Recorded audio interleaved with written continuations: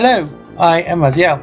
We are a week closer to the Old World release and a week closer for me to annihilate the enemies of Chaos in the name of Khorne. The Empire is really an interesting faction.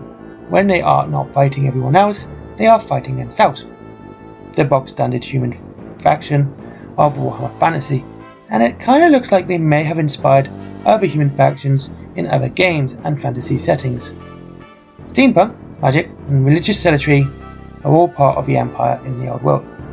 Now, first, their lore is great, with so many stories and books, from the Sigmar trilogy of the Time of Legends series by Graham McNeill, where we see the young God King rise up to rule the humans and fight off their foes, to the Empire at War books by Nick Kyme. There is a whole library of books written about the Empire.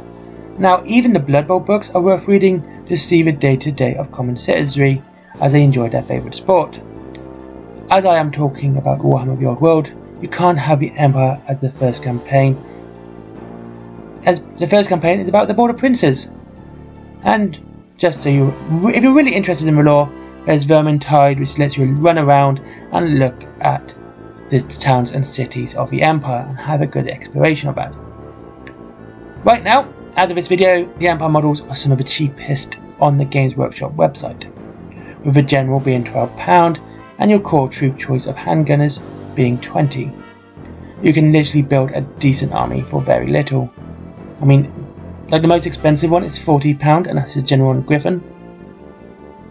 And the only models that can't really be used are the College Wizards, as kind of the College of Magic hasn't yet to be created, as this is all before the Chaos Incursion, the Great War of Chaos, and Teclis doing his thing.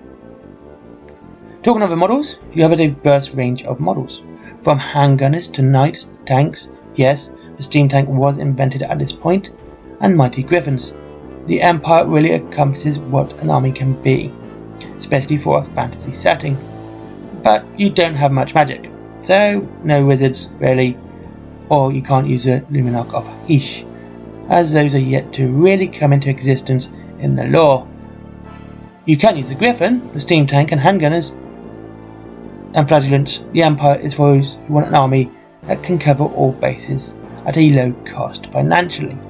Like I said, it's ridiculously cheap how it is really ridiculously how cheap the Imperial Empire is.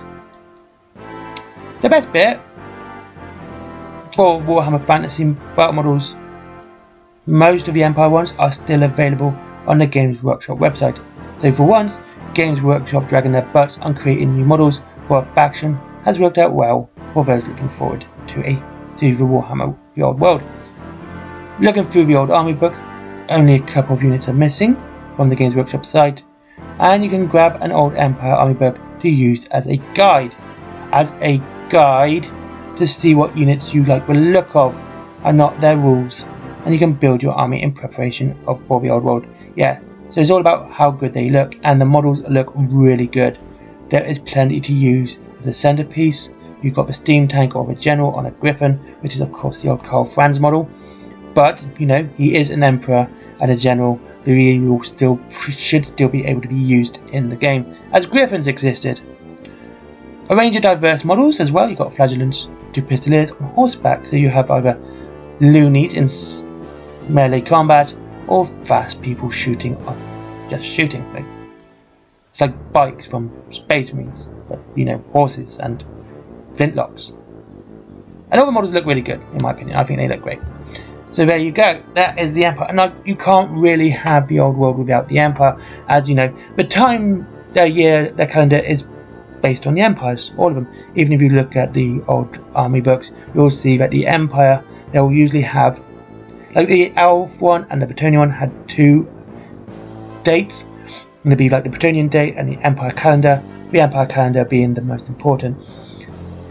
And of course, you can make a really good army for a really low cost because you can have heavy artillery, which is great for Warhammer Fantasy. You can have the tank, which is like the artillery is one of the cheaper ones, like the Helstorm rockets, I think they're called, are really low cost. The twenty pound, like if you were to do, you could do yeah, you could do a decent army for £150. That would cover you for most games. And it would cover most factors. Again, this is about what they look like. And they all look really good. And it's always a bonus when the models are cheap too, especially for Games Workshop. So yeah, there you go. Getting started for Warhammer the Old World via Empire. Like honestly, I'm really excited about this. One of my favourite factions and they're really fun. And I like the fact that, you know, Games Workshop haven't really updated the models for a long time. And you can still use them. They still come, I think a lot of them may come on square bases, as that's what's advertised on the site there on their square bases. And that's it. Anyway, thank you very much for watching. I hope you enjoyed this video. It is a good video, um, I hope. And I'll see you all again soon. Uh, like, comment, and subscribe as always. What factions are you looking forward to? And there you go. Oh yeah, Wayland Games if you want up to 20% off your Empire models. Uh, Forbidden Planet if you like comics. My comics, my merchandise, which is what everyone else does, t-shirts, etc, etc, etc. And of course there is Patreon. But, as always, do not just give me money. Go and treat yourself something first, because it does support the channel anyway. And, you know, get yourself something nice just before people giving me money. But, you know, you can give me money, I'll be happy with that too. Anyway, thank you very much for watching. I will burn this video out to 8 minutes because I can. And I'll see you for the algorithm. Of course, leave a comment and I'll see you all soon.